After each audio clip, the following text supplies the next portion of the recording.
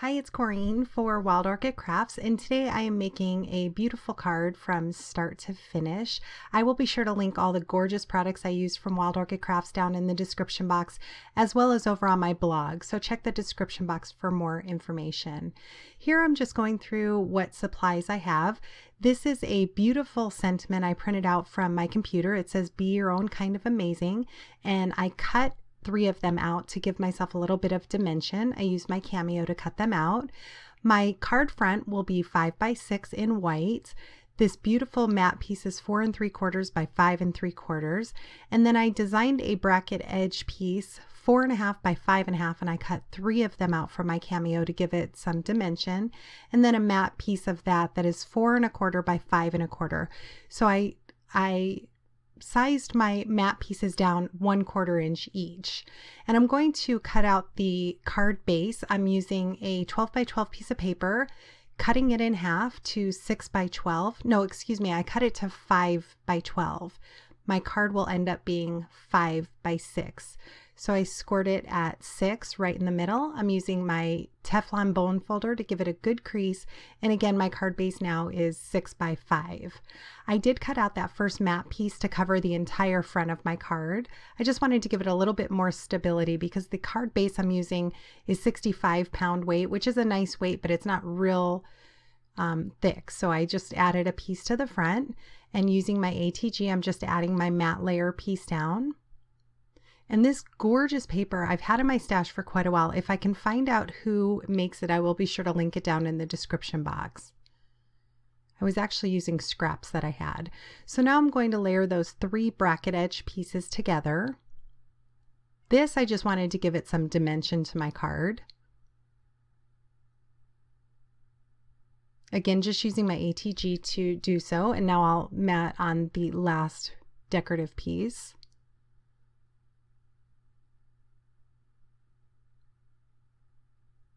I wanted an encouragement card for a friend, so I thought that sentiment on the front is just gorgeous.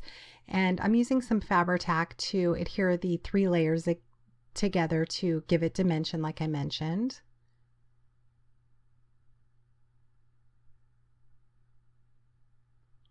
The Be Your Own Kind of Amazing, I just used a sentiment that I purchased from the online silhouette store, and I colored in the word amazing from one of the colors of that scrap paper. Here I'm showing you I decided to cut out another piece of scrap paper. I did not measure it. I'm going to guess that it's probably two by four if I had to guess. And I cut a white mat for it as well. And I also had two little pieces of the scrap paper that you'll that you'll see me add to this heart frame in just a moment. These are the mixed corner frames or the mixed frames from Wild Orchid Crafts. I love using those. I also pulled out a few laces and absolutely love this white cotton lace. I was going to add it to the edge of this scrap piece, but I liked it so much I ended up adding it to both sides of this piece.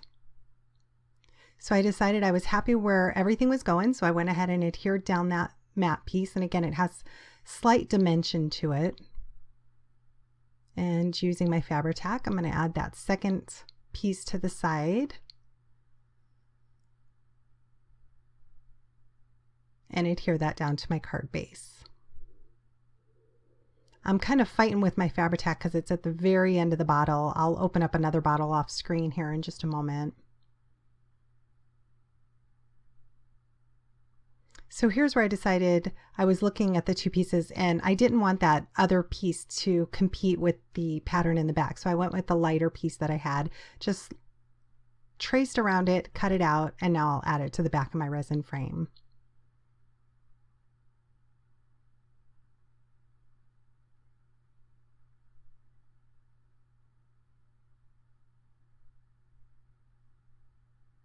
Now I'm pulling out some of the leaves. Wild Orchid Crafts has tons of leaves to choose from all different sizes. And I'm using the, I believe they're the 20 millimeter leaves. I'm adhering down my resin frame and now I pulled out some of the flowers. This is a gorgeous mixed pink tea rose flower.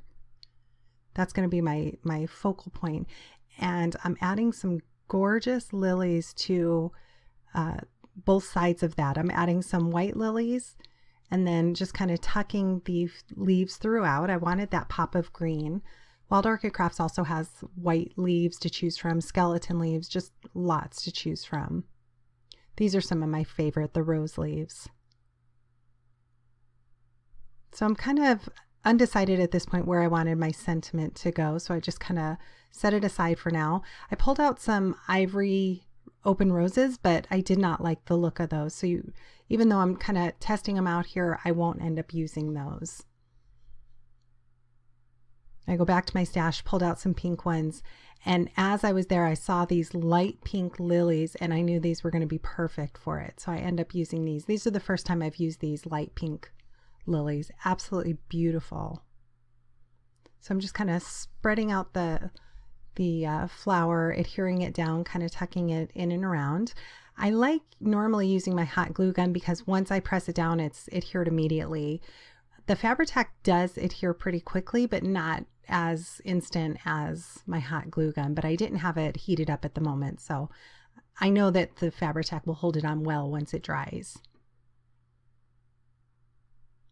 So again, I'm going to tuck just a couple more leaves at the bottom there to get that color that green color at the bottom as well. And I pulled out some of this twine. I got this twine a long time ago. It's baker's twine.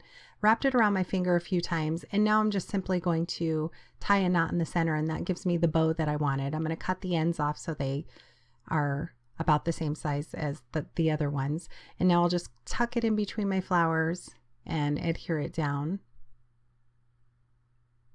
I love the texture that it gives my card.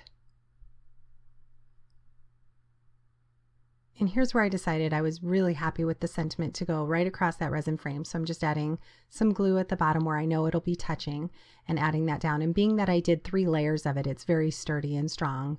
So it'll, it'll hold up very well. And now I am simply scattering a few of the self-adhesive pearls from Wild Orchid Crafts in the white. Those also come in lots of colors as well. I like to kind of tuck them on top of the leaves, around the flowers. I tucked one inside the resin frame. I think they're a perfect touch to such a, a sweet, girly card. And I printed this out also from my computer. It's a um, sentiment that I got from the online silhouette store. And I wanted to just kind of frame it up. So I'm using a micron pen and my T-square ruler to go around the edges here. And then I'll use my ATG and adhere that to the inside of my card. And then I will sign it with my message and that finishes off my card. Thank you so much for stopping by. Please check out Wild Orchid Crafts. They have such amazing products.